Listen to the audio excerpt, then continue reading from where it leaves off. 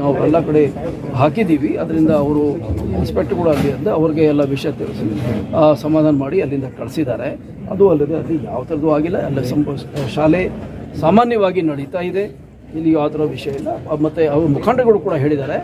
ಏನು ನಮ್ಮವರು ಬರೀ ಒಂದು ಕ್ಲಾರಿಫಿಕೇಷನ್ ಮಾತ್ರ ಬಂದಿದ್ದರು ಅದು ಬಿಟ್ಟಿದೆ.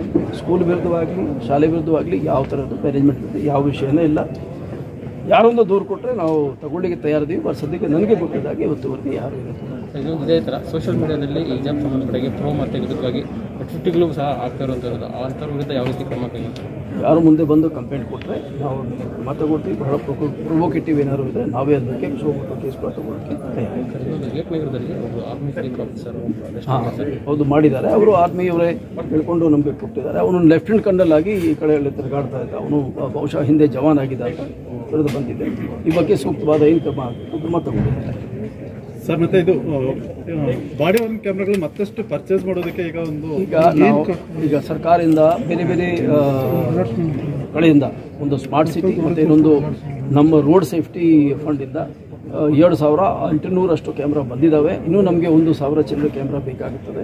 ಅದು ನಮ್ಮಲ್ಲಿ ಹಾಲಿ ಇರೋ ಲಭ್ಯ ಗ್ರಾಂಟ್ಸ್ ಒಳಗೆ ನಾವು ತಗೊಳ್ಳಿಕ್ಕೆ ಈಗ ಪ್ರಪೋಸಲ್ ರೆಡಿ ಮಾಡ್ತಾ ಇದ್ದೀವಿ. ಎಲ್ಲ ಪೊಲೀಸ್ ಅವರಿಗೆ ಈ ಇದು ಬಾಡಿ ಓನ್ ಕ್ಯಾಮ್ರಾ ಕೊಟ್ಟರೆ ಪಬ್ಲಿಕ್ ಹೇಗೆ ವರ್ತಿಸ್ತಾರೆ ಮತ್ತು ನಂಬರ್ ಹೇಗೆ ವರ್ತಿಸ್ತಾರೆ ಎರಡು ಕಡೆಯಿಂದ ಸ್ಪಷ್ಟವಾಗಿ ರೆಕಾರ್ಡ್ ಆಗುತ್ತದೆ. ಇದು ಕೆಲವು ಫೀಡ್ ನಮಗೆ ಕಂಟ್ರೋಲ್ ರೂಮ್ಗೆ ಕೂಡ ಬರ್ತದೆ.